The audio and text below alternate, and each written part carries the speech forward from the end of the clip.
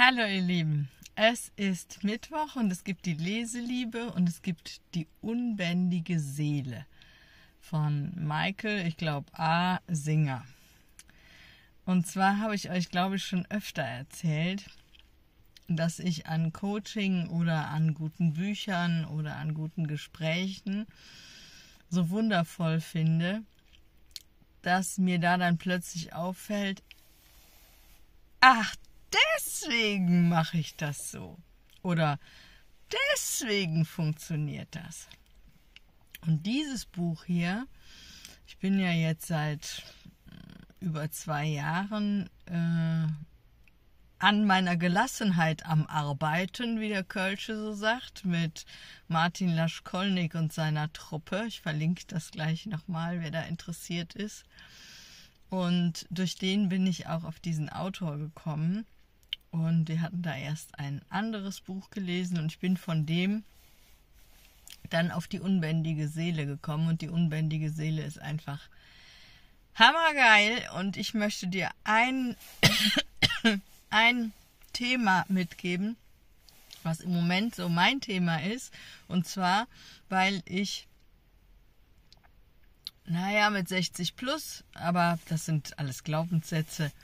Also, ich habe sehr viel Energie und ich möchte mit dieser Energie aber effizient umgehen.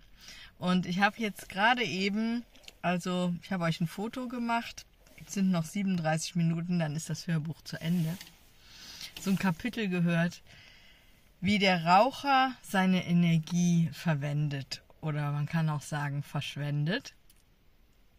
Und so ist es mit allen Sachen, die wir extrem machen. Also, wenn ich zum Beispiel eine Beziehung habe und möchte, dass die glücklich ist, wenn ich dann aber Tag und Nacht beisammen bin, dann ist das extrem und dann ist das unwahrscheinlich, dass dieses Ergebnis, was ja in der Mitte ist, wenn etwas ausgewogen ist, eintritt. Und ähm, ja, wenn du eine Zigarette am Tag rauchst, wenn du das könntest, dann wäre es wahrscheinlich auch nicht so schlimm. Ich weiß es nicht. Aber ist jetzt vielleicht auch ein schlechtes Beispiel. Wichtig sind diese Sachen, die funktionieren wie ein Pendel. Also ähm, ich sag ja in meinem Gratiskurs einfach mal die Perspektive wechseln, dass man einfach von dem einen Extrem mal beim anderen gucken sollte, weil ganz oft ist es so, dass es gar nicht so ist, wie du denkst und auch gar nicht so funktioniert, wie du denkst. Und in dieser Richtung ist dieses Buch ein wundervoll sich mit dir selbst versöhnendes Buch. Also du kannst dich mit dir selbst versöhnen. Ich bin so ruhig geworden, weil ich so Sachen verstanden habe, warum ich Sachen früher in einer Art und Weise gemacht habe, dass es mir nicht gut tut. Also ich kann euch dieses Buch nur ans Herz legen, wenn ihr einfach auf dem Weg zu euch selber seid und euch selber noch ein bisschen besser verstehen wollt und liebevoller mit euch sein wollt wenn ihr euch mal was angewöhnt habt, was euch vielleicht nicht so gut tut. Die unbändige Seele, Michael Singer, meine Empfehlung, die ich bestimmt noch fünfmal hören werde, weil da so einzelne Kapitel, das waren ja jetzt nur zwei Beispiele, da sind so tolle Sachen drin. Also genehmigt euch das.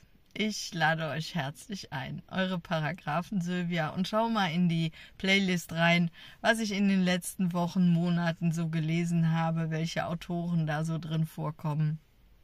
Du findest da, äh, weißt du, ich poste gerne mal, wenn ich, äh, bevor ich in, an den Bodensee oder sonst wohin in Urlaub fahre. Im Moment plane ich ja die Retreats in Holland dieses Jahr. Äh, dann frage ich normalerweise in meiner Community, äh, was kann ich denn so mitnehmen zum Lesen oder welche Hörbuchempfehlungen habt ihr? Also meine Leseliebe ist eine Quelle von richtig tollen Büchern. Eure Paragraphen, Sylvia. Hey, unter fünf Minuten. Super.